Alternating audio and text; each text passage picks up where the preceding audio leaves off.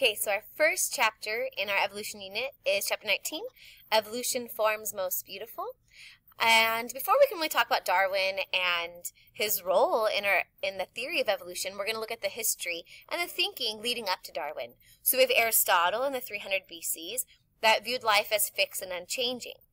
Um, and that kind of remained the the thought for hundreds of years. Um, in the 1700s still um, agreed that life was created as is and is unchanging. Um, however, he worked to start to classify organisms as um, naturalists and people interested in science and nature um, moved not moved, traveled throughout the world and collected specimens from the rainforest or grasslands. They sent them back towards um, to England, and Linnaeus decided to um, start to classify them, and he worked on the nomenclature or the naming of species. So when we say that humans are Homo sapiens, that's an example of uh, a binomial or two name, like a way to call us or identify us, whereas fruit flies are Drosophila melanogaster or E. coli, etc. And then you have um, Georges Cuvier. We can also tie in like paleontology and the fossil record um, when we look at life and how it's changed on Earth. And so um, Cuvier started to look at the rock layers or the different strata in rocks, and you he would notice that like at the bottom layers, all of a sudden there might be a layer where organisms or animals that were in the bottom layers never occur afterwards. And the new species would be in the top rock layers. And so the way he explained this was that the bottom layers, um, those organisms were wiped out or extinct because of some catastrophe. And any new animal forms that are above that in the higher up rock layers are because of immigration of species, new species into that area. Um, around this time period, it was commonly, commonly believed that the Earth was about 6,000 years old. So to explain such drastic changes in the fossil record, the uh, catastrophism makes sense. Um, and then we have two uh, gentlemen who were working in the field of geology and looking at Earth's features. We have James Hutton and Charles Lyell, who both um, were interested in uh, like the formation of canyons, like like the Grand Canyon, or rivers, or valleys, or mountains. And when we look at Hutton, Hutton uh, realized that the formations of of Earth were slow, gradual processes that probably took millions of years, longer than what was thought of just 6,000 of the age of the Earth. Um, and Lyell um, added to that by saying um, that these changes, these geological happenings, were still occurring.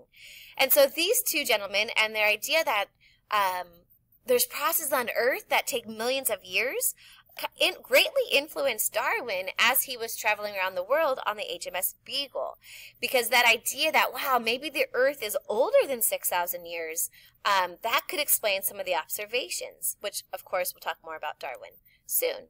Um, and so Darwin eventually came up with this hypothesis of um, basically natural selection or descent with modification.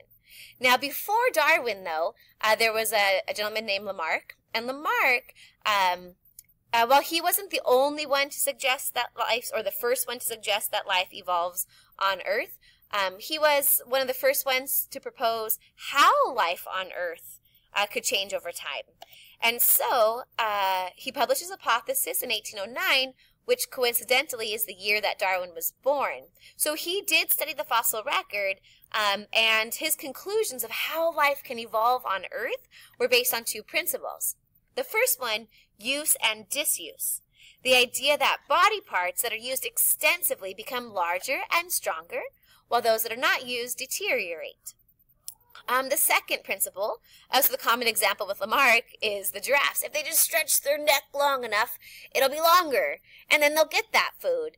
Um, and so when we look at uh, his second principle, which is inheritance of acquired characteristics, that stated that these acquired characteristics, that gir giraffe with the longer neck, uh, could be passed on to offspring. Um, so basically, this idea that if we strive to have certain characteristics during life, um, that they'll be passed on uh, to our offspring. So things that are acquired. Uh, it's a little joke about a woman working out while she was pregnant and then having a physically fit offspring. Um, which we know is testable and doesn't really work this way. So Lamarck thought that evolution happens because organisms have this innate drive to become more complex. Um, we since we now know a little bit more about inheritance and DNA and genetics, and uh, we see that traits that we acquire through life, like right now my hair is bleached blonde, um, just because I've acquired it in life because I wanted blonde hair, doesn't mean my offspring are going to be born with blonde hair. Okay. Uh, now, Darwin here uh, proposed uh, descent with modification by natural selection. So this explains the adaptations of organisms and the unity and diversity of life.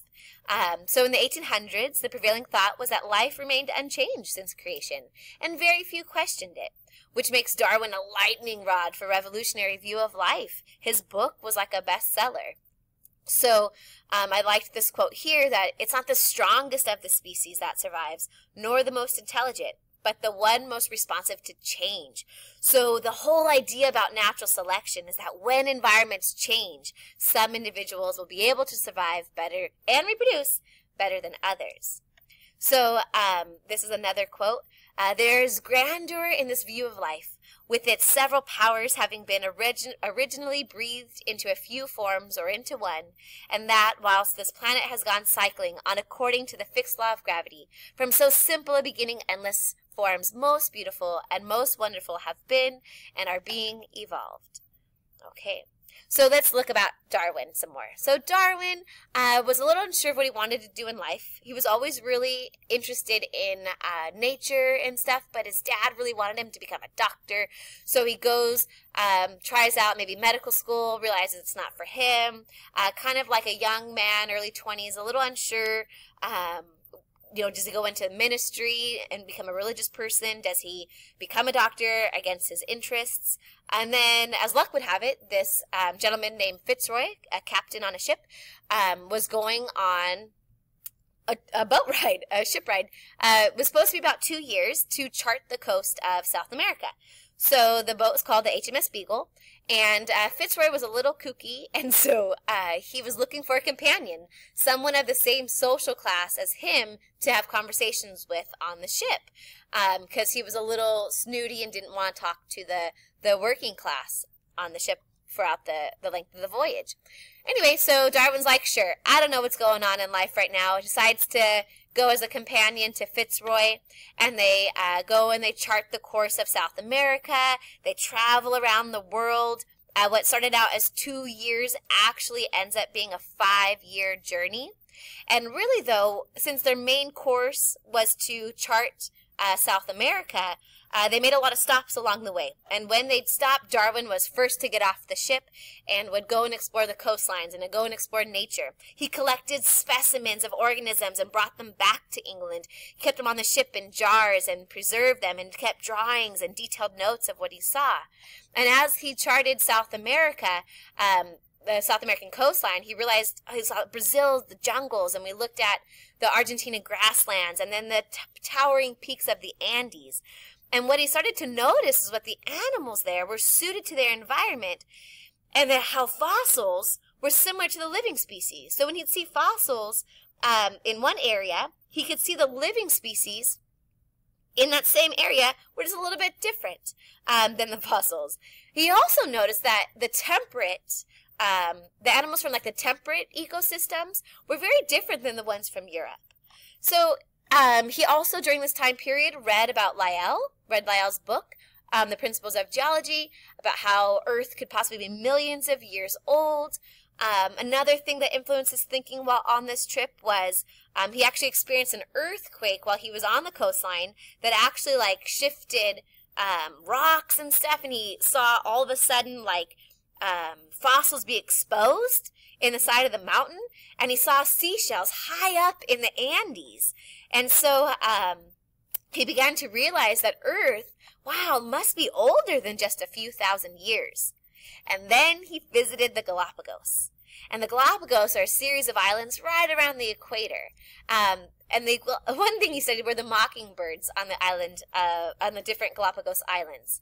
So the mockingbirds, some were unique to specific islands, some to many islands, but and most were not known anywhere else in the world. So his hypothesis was that, hmm, that the Galapagos had been colonized by organisms that had strayed from South America and then diversified, giving rise to new species on various islands. So if each island has their own specific habitat, different traits would be selected for, etc. And so when we look at the Galapagos, they're home to a bunch of unique animals that are found only in the Galapagos. So it was like a, a hot spot for biodiversity and um, a field of study.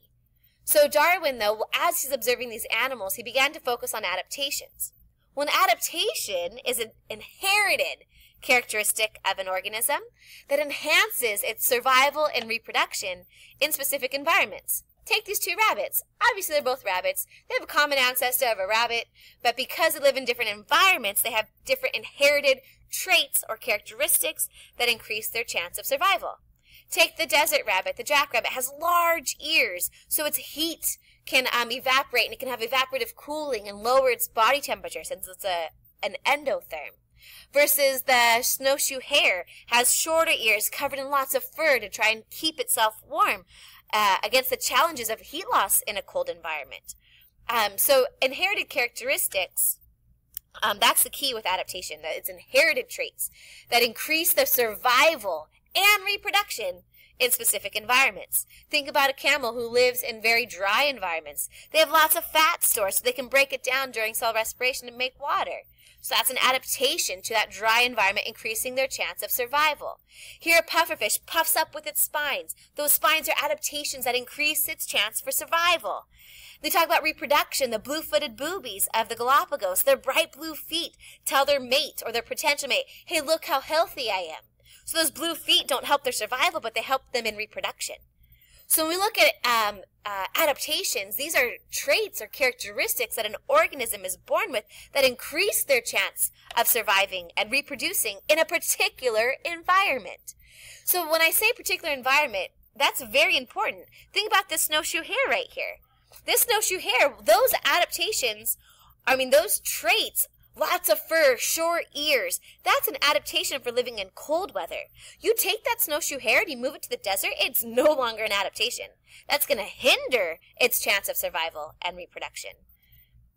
Okay, so Darwin realized that adaptations and the origin of new species were actually related. So Darwin goes back to England after five years on the HMS Beagle, and he spends years uh, doing research testing out his hypothesis, gathering evidence. He worked with pigeons. He worked with worms. He did breeding experiments and artificial selection. Um, and so how Darwin is different from Lamarck is because he um, basically was able to present a plausible, specific mechanism with immaculate logic and an avalanche of evidence. He spent years studying natural selection before he came out and presented his hypothesis. Now, let's talk more about that. So the time period of the 1800s was very strong that the Earth was 6,000 years old. And so uh, for Darwin, realizing that natural selection is a very slow process, um, or can be a slow process to create new species and all the diversity of life, was very hesitant about coming out and saying this because it would go against the religious beliefs of the time. Um, so much so that it made him sick. He was um, uh, had lots of different ailments throughout his life, and um, about 20 years or so, he kept his mouth shut. He actually had his hypothesis written out and in a safe and told his wife, if I die, make sure you publish this. I want to get credit, but he wasn't quite ready to um, be so contradictory. And so he did breeding experiments with pigeons. Um, and basically, what he presented was this descent with modification that over millions of years, descendants of ancestors accumulated diverse modifications or adaptations that fit them to a certain way of life. Eventually, this led to a rich diversity of life on Earth today. You can see here the evolution of horses over 50 million years, how the, depending on their environment, uh, they get longer legs and different teeth, and uh, we'll talk more about that in class. Now, Darwin, though, he didn't, it was more of a reluctance publish of the origin of species. There was another naturalist, Alfred Russel Wallace, studying um, uh, populations in Indonesia that actually spurred Darwin to get like um, noticed for his hypothesis of natural selection. And so therefore he published The Origin of Species in 18 58